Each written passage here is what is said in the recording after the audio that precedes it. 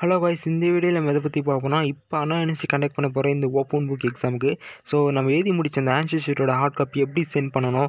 So அது வந்து யாருக்கு சென்ட் பண்ணணும்? இது மாதிரி தான் இந்த வீடியோவில் பார்க்க போகிறோம் அதாவது இன்னும் புரியும்படி சொல்லலாம் அந்த ஹார்ட் காப்பியில் வந்து அட்ரஸ் வந்து ஃப்ரம் அட்ரஸ் என்ன பண்ணணும்? டூ அட்ரஸ் என்ன பண்ணணும்? அது வந்து யாருக்கு சென்ட் பண்ணணும்? ப்ரொசீஜர் என்ன? டீட்டெயில்ஸ் டு ஃபில் அந்த ஆன்சர்ஸ் டூவில் வந்து என்ன டீட்டெயில்ஸ் தான் இருக்குது? அதில் நம்ம என்னெல்லாம் ஃபில் பண்ணணும்? அதே மாதிரி போஸ்ட் ஆஃபீஸ் வந்து எத்தனை மணி வரைக்கும் திறந்துருக்கும்? ஸோ நம்ம எத்தனை மணிக்குள்ளே போய் சென்ட் பண்ணணும்? இந்த மாதிரி ஃபுல் டீட்டெயில்ஸாக இந்த வீடியோவில் பார்க்குறோம். வித் டெமோவோட இந்த வீடியோவில் பார்க்க போகிறோம் வாங்க வீடியோக்குள்ளே போயிடலாம். ஃபஸ்ட்டு சிம்பிள் இன்ட்ரோ ஒன்று கொடுத்துறேன். அதாவது எக்ஸாம் வந்து ப்ரெசன்டேஷன் எப்படி பண்ணணும்? கூகுளில் சர்ச் எப்படி பண்ணணும்? ஃபஸ்ட்டு சின்ன ஒரு இன்ட்ரோ சொல்லிடுறேன். அதாவது கொஷின் பேப்பர் வந்துட்டு நம்ம எப்படி ஆன்சர் கண்டுபிடிச்சி இதெல்லாம் கூகுளில் சர்ச் பண்ணி எப்படி எதிர்த்து அதே மாதிரி நோட்ஸில் எப்படி சர்ச் பண்ணி எதிர்த்து அதே மாதிரி நம்ம டெலிகிராம் குரூப்பில் வந்து ஜாயின் பண்ணிட்டு அவங்க ஆன்சர் எப்படி சென்ட் பண்ணுவாங்க? அதுக்கான டெலிகிராம் குரூப் என்னன்ட்டு ஆல்ரெடி வீடியோலாம் போட்டாச்சு. அதே மாதிரி நம்ம எதுன ஆன்சர் ஷீட்டை வந்து எப்படி ஸ்கேன் பண்ணி பிடிஎஃபாக மாற்றி சாஃப்ட் காப்பி வந்து காலேஜ் அனுப்புது இந்த மாதிரி வீடியோவும் ஆல்ரெடி போட்டாச்சு. அதுக்கான லிங்க் வந்து கீழே டிஸ்கிரிப்ஷன் கொடுத்துறேன். இப்போது ஹார்ட் காப்பி வந்து எப்படி சென்ட் பண்ணுறது இந்த வீடியோவில் பார்த்தலாம் இப்போ இதுதான் பார்த்தீங்கன்னா க்ரீன் லைன் கிளாத் கவர் இது வந்து பார்த்தீங்கன்னா போஸ்ட் ஆஃபீஸில் கிடையாது. நீங்கள் வந்து நார்மலாக அந்த ஸ்டேஷ்னரி ஷாப்பு இல்லைனா ரீசார்ஜ் பண்ணுறது ஜெராக்ஸ் கடை இந்த மாதிரி கடையில் போட தெரியும். ஸோ இது மாதிரி பார்த்தீங்கன்னா தெரியும். லைன்டு வந்து இது மாதிரி இருக்கும். கிளாத் வந்து க்ரீன் கலரில் இருக்கும். So A four size A four sheet size கேட்டாலே போதும். கொடுத்துருவாங்க. ஸோ ஒன்றும் இல்லை. இது மாதிரி வாங்கி வந்து எக்ஸாமுக்கு எத்தனை எக்ஸாமுக்கு தேவைப்படுதோ அத்தனை கவர் வந்து வாங்கி வச்சுங்க. அப்புறம் பார்த்தீங்கன்னாக்கா இப்போது வந்து இது மாதிரி த்ரெட்டு கட்டி வச்சுருக்கீங்க. அதாவது சாஃப்ட் காப்பி பொறுத்த வரைக்கும் இந்த மாதிரி ஓட்டர் எதுவும் போடாத அதே மாதிரி த்ரெட்டு கட்டாத அதுக்கு முன்னாடியே இந்த ஃப்ரண்ட்டு பக்கம் அதுதான் ஆன்எஸ்எஸ் ஒன்று ஸோ இதை இதோட சேர்த்து ஃபோட்டோ பிடிச்சி அதாவது ஸ்கேன் பண்ணி பிடிஎஃபாக மாற்றி சாஃப்ட் காப்பி வந்து காலேஜ் அனுப்பிச்சி விட்ருங்க நெக்ஸ்ட்டு சாஃப்ட் காப்பி அனுப்பிட்டோடனே இந்த மாதிரி வந்து ஹோல்ஸ் போட்டு திருட்டு கட்டிடுங்க சப்போஸ் உங்ககிட்ட பஞ்சிங் மிஷின் எதுவுமே இல்லைனா எப்படி வந்து ஹோல்ஸ் போடுறதுன்னு கடைசி இந்த வீடியோ முடியுமோ சிம்பிள் ஒரு மெத்தட் மட்டும் சொல்லிடுறேன். ஸோ இந்த மாதிரி இதோட அதாவது ஃப்ரண்ட்டு பக்கம் இந்த மாதிரி ஆன்சர்ஸ் ஒன்று கொடுத்துருப்பாங்க. இதை விட சேர்த்து தான் நீங்கள் வந்து திருட்டு கட்டிட்டு அனுப்பணும். அதே மாதிரி சாஃப்ட் காப்பி ஆகட்டும். ஸோ இந்த சைடு எதுவுமே ஸ்ட்ரைக் கூட பண்ணக்கூடாது எதுவுமே எதுவும் கூடாது. ஸோ இந்த ஆர்டர் தான் இருக்கணும். அதாவது ஒன்றா நம்பர்னா ஒன்றா நம்பர் பேஜ் நம்பர் ஒன்று நெக்ஸ்ட் இது வந்து டூ அப்படியே பின்னாடி திருப்பி டூ இருக்கணும். ஸோ இந்த மாதிரி ஆள் மெத்தட்டாக அதே மாதிரி இது வந்து த்ரீ அப்படியே வந்து பின்னாடி திருப்பி இது வந்து ஃபோர் ஃபார் எக்ஸாம்பிளுக்காக தான் இந்த மாதிரி சொல்லியிருப்பேன். ஸோ இந்த மாதிரி வச்சுட்டு ஃபுல்லாக த்ரெட்டு கட்டிட்டு நீங்கள் வந்து இந்த கிளாத் லைன் கவரில் போட்டு அனுப்பி தான். ஸோ எப்படி வந்து எப்படி போட்டு அனுப்பணும் சொல்லிடுறேன். ஸோ இப்போ பார்த்துருப்பீங்க எப்படி வந்து போட்டிருக்கேன்ட்டு. ஸோ இது மாதிரி போட்டு இது வந்து கரெக்டாக இது மாதிரி இந்த த்ரெட்டில் நல்லா உள்ளே தள்ளிட்டு ஸோ இது மாதிரி இங்கே என்ன பண்ணிங்கன்னா செல்லோ டேப் போட்டு விட்ருங்க ஸோ டெல்ல செல்லோ டைப் மட்டும் தான் யூஸ் பண்ணோம் அது வந்து வே நீங்கள் பின்னில் ஆச்சுனாக்கா இந்த பேப்பரோட சேர்த்து பின்ன வச்சிரும் ஸோ இது மாதிரிலாம் ஆகிடும் ஸோ நீ என்ன பண்ண செல்லோ டைப் அதுவும் வாங்கி வச்சுங்க. இப்போ ஸ்டேஷ்னரி ஸ்டாப் இல்லை அதனால எதுவும் வாங்க முடியல. ஸோ இது மாதிரி போட்டு நீங்கள் என்ன பண்ணுறீங்கன்னா ஸோ இது மாதிரி ஆர்டர்லாம் இந்த சைடு எதுவும் ஒட்டவே கூடாது. ஸோ இது மாதிரி கவர் வந்து மூடுற சைடு எதுவும் வரக்கூடாது. பின்னாடி பக்கம் இப்படியே திருப்பிட்டு ஸோ இது வந்து பார்த்து இப்போ இது மாதிரி ஆன்சர்ஸ் டூன்னு கொடுத்துருப்பாங்க. ஸோ இதில் வந்து டீட்டெயில்ஸை பற்றி பார்த்துலாம் கொஷின் பேப்பர் கோட் கொடுத்துருப்பாங்க. இது கொஷின் பேப்பர்லேயே இருக்கும். பிரச்சனை இல்லை. ரெஜிஸ்டர் நம்பர் உங்களுடைய ரெஜிஸ்டர் நம்பர் போட்டு உங்களுடைய நேமு பிரான்ச் அதாவது நீ பிரான்ச் நேம்னா என்ன பிஇ மெக்கானிக்கலாக மெக்கானிக்கல் போட்டு அப்புறம் சப்ஜெக்ட் கோடு சப்ஜெக்ட் நேமு அப்புறம் நீங்கள் டிகிரி வந்து யூஜி பிஜி அதை வந்து டிக் பண்ணிக்கங்க. அன்றைக்கான எக்ஸாமுக்கான டேட்டு காலையிலேயே மதியமாக அதை பார்த்து டிக் பண்ணிவிட்டு ஸோ இப்போ இதுதான் பார்க்கணும். ஃப்ரம் அட்ரஸ் நீங்கள் என்ன எழுதணும்னா இந்த ரெண்டு மட்டும் பார்த்துங்க அதாவது உங்களோட நேமு நீங்கள் என்ன டிபார்ட்மெண்ட் அதுக்கப்புறம் அந்த சப்ஜெக்ட்டுக்கான செமஸ்ட்ரு என்ன செமஸ்ட்ரு ஸோ இது வரைக்கும் போட்டு மீதிலாம் பார்த்து உங்கள் நார்மல் அட்ரஸ்ஸு அதாவது உங்களுடைய நம்பரு வீட் நம்பரு என்ன ஸ்ட்ரீட்டு என்ன வில்லேஜ் ஸோ என்ன டிஸ்ட்ரிக்டாக அதுக்கப்புறம் பின்கோடு இது பின்கோடு நல்லா கரெக்டாக போடணும். ஸோ இது மாதிரி போட்டு பிரின்சிபல் இது தான் டூ அட்ரஸ் பார்த்துருக்கோம் அந்தந்த காலேஜ் எக்ஸாம் முன்னாடியே அறிவிச்சிருவாங்க. நீங்கள் ஒவ்வொரு எக்ஸாமுக்கும் அதே அட்ரஸ் வந்து போட்டாலே முடிஞ்சிச்சு. அதாவது இது வந்து for example Karpaga Vinayagar college வந்து அனுப்பிச்சிருந்தாங்க. So Karpaga Vinayagar college of engineering technology GST road சின்ன குளம்பக்கம் அப்புறம் பின்கோடு செங்கல்பட்டு டிஸ்ட்ரிக் ஸோ இந்த மாதிரி உங்கள் காலேஜே அறிவிச்சிருவாங்க. இன்னொரு முக்கியமான விஷயம்னா ஒட்டுறதுக்கு முன்னாடி இந்த டீட்டெயில்ஸ்லாம் எல்லாமே ஃபில் பண்ணுறேன் ஏன்னா ஒட்டிட்ட பேருக்கு கரெக்டாக எழுதிட்டு வாட்ட வராது.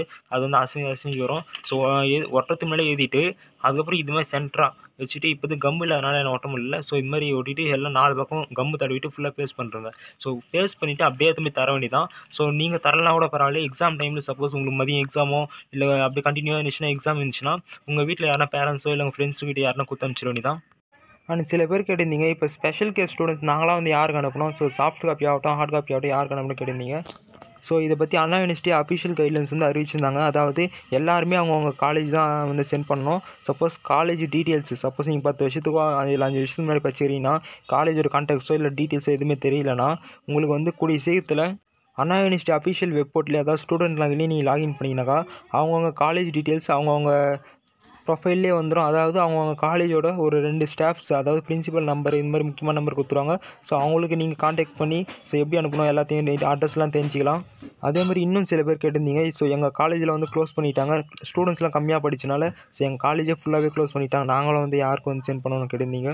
ஸோ உங்களுக்கு வந்து இப்போ தற்காலிகத்து உங்கள் காலேஜ் பகுதியில் சென்டர் ஒன்று ஆரம்பிப்பாலாம் ஸோ அந்த சென்டர் ஒன்று ஆரம்பிச்சுட்டு ஸோ அதுக்கான டீட்டெயில்ஸ் வந்து உங்களுக்கும் சரி அண்ணா யூனிவர்சிட்டி அஃபிஷியல் வெப்போர்ட்லேயே அனௌன்ஸ்மெண்ட் பண்ணுறாங்க ஸோ அது தெரிஞ்சிட்டோடனே அதிலே கான்டாக்ட்ஸ்லாம் சொல்லிவிடுவாங்க அதுக்கப்புறம் நீங்கள் அந்த கான்டாக்டுக்கு ஃபோன் பண்ணிவிட்டு ஸோ எந்த அட்ரஸில் இருக்குது? ஸோ அந்த சென்டர் பேர் என்ன? ஸோ இதெல்லாம் கேட்டுக்கிட்டு நீங்கள் வந்து அவங்களுக்கு அனுப்பிச்சிடலாம். அதே மாதிரி அந்த சென்டர் பார்த்தீங்கன்னா எக்ஸாம் முடிய வரைக்கும் செயல்படும். ஸோ யாரும் வந்து பயப்பட தேவையில்லை. ஸோ ஷார்ட்டாக உங்களுக்கு புரிய முடியும் சொல்லலாம். இந்த மாதிரி டீட்டெயில்ஸ் அதாவது அட்ரஸ் வந்து எந்த அட்ரஸ் சென்ட் பண்ணோம் சாஃப்ட் காப்பி எங்கே சென்ட் பண்ணோம் இந்த மாதிரி காலேஜ் ஆகட்டும் ஸோ இந்த மாதிரி அனௌன்ஸ் வெப்போர்ட்லேயே எல்லாமே தெரிய வந்துடும் ஸோ எக்ஸாம் முன்னாடி எல்லாருக்குமே இந்த மாதிரி டீட்டெயில்ஸாக அனௌன்ஸ்மெண்ட் பண்ணுறாங்க ஸோ இதில் வந்து யாருமே பேனிக் ஆக தேவையில்லை. அண்ட் கடைசியாக இன்னொரு முக்கியமான இன்ஃபர்மேஷன் சொல்ல மறந்துட்டேன்.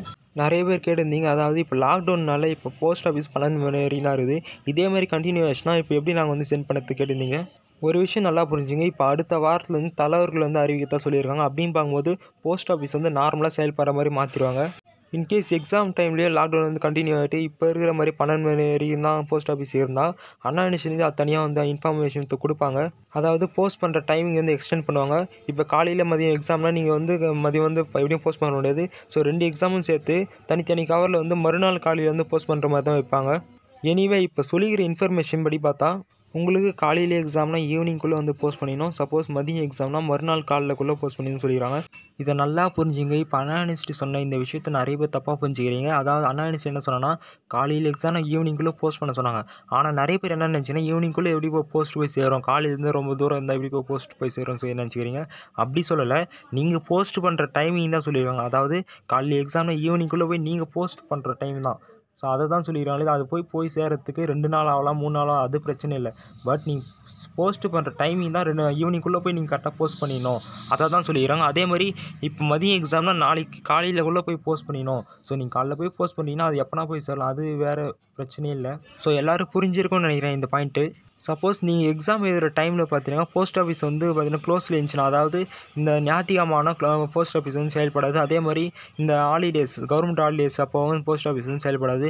அந்த மாதிரி டைமில் நீங்கள் எப்போ வந்து போஸ்ட் பண்ணால் மறுநாள் காலையில் வந்து ஒர்க்கிங் டேஸ் வரும்ல இப்போ ஞாயிற்றுக்கிழமை லீவுனா மண்டே வந்து ஓப்பன் பண்ணுவாங்க. ஸோ அந்த மாதிரி டைமில் நீங்கள் வந்து காலையில் போய்ட்டு போஸ்ட் பண்ண சொல்லியிருக்காங்க. ஃபார் எக்ஸாம்பிள் சனிக்கிழமை மதியம் உங்களுக்கு எக்ஸாம்னா மறுநாள் காலைல போய் போஸ்ட் பண்ண சொன்னாங்க. ஆனால் மறுநாள் காலைல பார்த்தீங்கன்னா ஞாயிற்றுக்கிழமை. அப்போ வந்து போஸ்ட் ஆஃபீஸ் லீவில் இருக்கும். அப்போ நீங்கள் என்ன பண்ணணும்னா அந்த பேப்பர் அப்படியே வச்சுருந்தது மண்டே காலையில் போய் போஸ்ட் பண்ண சொல்லியிருக்காங்க. அதே மாதிரி தான் பண்ணோம். ஓகே ஃப்ரெண்ட்ஸ் இந்த டவுட்டரை நிறைய பேர் கேட்டிருந்தீங்க. ஸோ கிட்டத்தட்ட இது எல்லா டவுட்டும் கிளியர் பண்ணிட்டேன்னு நினைக்கிறேன். ஸோ புரிஞ்சிருக்கும்னு நினைக்கிறேன். அண்ட் இப்போ எப்படி பஞ்சிங் மிஷினில் இல்லாதவங்க வந்து ஹோல்ஸ் போடணும்னு எனக்கு தெரிஞ்ச ஐடியாவை சொல்லிடுறேன். ஸோ இந்த மாதிரி வந்து எட்ஜி மடிச்சிங்க. இது வந்து பார்த்தீங்கன்னா கிட்டத்தட்ட நீங்கள் பதினாறு பக்கம் ஃப்ரண்ட் பக்கத்தோடு சேர்த்து பதினாறு பக்கம் யூஸ் பண்ணிங்க. அப்படிங்கும்போது அஞ்சு அஞ்சு பக்கமாக மடிச்சிட்டு ஸோ இந்த மாதிரி சென்டராக வந்து கட் பண்ணிவிடுங்க கட் பண்ணிவிட்டு எல்லா பேப்பராக கட்டாக ஆர்டராக வச்சுட்டு த்ரெட் கட்டிவிடுங்க அவ்வளோதான் அண்ட் இன்னொரு முக்கியமான விஷயம் சொல்ல வந்துட்டேன் இப்போ ரெண்டு ஒரே நாளில் ரெண்டு எக்ஸாம் வருதுன்னா நீங்கள் இப்போ காலையில் எக்ஸாம்னா நீங்கள் வந்து போஸ்ட் பண்ணது நீங்கள் போகக்கூடாது. உங்கள் பேரண்ட்ஸ் கிட்டே இல்லை ஃப்ரெண்ட்ஸ் கிட்டே குத்து அனுப்பணும். ஸோ அந்த மாதிரி தான் குத்து அனுப்பணும். அதே மாதிரி மதியம் எக்ஸாம்னா மறுநாள் காலைல போய் அந்த பேப்பர் வந்து போஸ்ட் பண்ணணும். அப்படின்னு பார்க்கும்போது மறுநாளே நம்மளுக்கு எக்ஸாம் இருந்துச்சுன்னா நீங்கள் என்ன பண்ணால் உங்கள் பேர் நீங்கள் போகாத உங்கள் பேரண்ட்ஸ் கிட்டே ஃப்ரெண்ட்ஸ் கிட்டே அந்த பேப்பரையும் சரி சென்ட் பண்ணி கொடுத்துருவேன் சில பேர் ஒரே எக்ஸாமோ இல்லை ரெண்டு எக்ஸாம் தான் அறிவு வச்சிருப்பேன். அதுவும் டைம் நல்லா கிடச்சிச்சுன்னா மட்டும்தான் நீங்கள் போய் போஸ்ட் பண்ணணும். அண்ட் யாருக்கெல்லாம் இப்போ இந்த வீடியோ மூலிமா ஹார்ட் காப்பியை சென்ட் பண்ணதுக்கான டவுட்ஸில் கிளியர் ஆயிடுச்சோ லைக் போட்டுட்டு கமெண்ட் பாக்ஸில் டவுட்டில் கிளியர் ஆயிடுச்சு ப்ரோ அப்படின்ட்டு வந்து மெசேஜ் பண்ணுங்கள் சப்போஸ் இன்னொன்று டவுட் இருந்துச்சுன்னா அது வந்து கமெண்ட் பாக்ஸில் அப்படி கேளுங்க. நான் வந்து நெக்ஸ்ட் வீடியோவில் போட்டு கூட உங்களுக்கு வந்து சொல்லி கொடுக்குறேன். அதே மாதிரி சப்ஸ்கிரைப் பண்ணால் சப்ஸ்கிரைப் பண்ணி வச்சுங்க. அப்போ இன்னும் நிறைய தகவலாம் உங்களுக்கு வந்து சேரும். ஓகே ஃப்ரெண்ட்ஸ் நெக்ஸ்ட் வீடியோவில் பார்க்கலாம். பாய்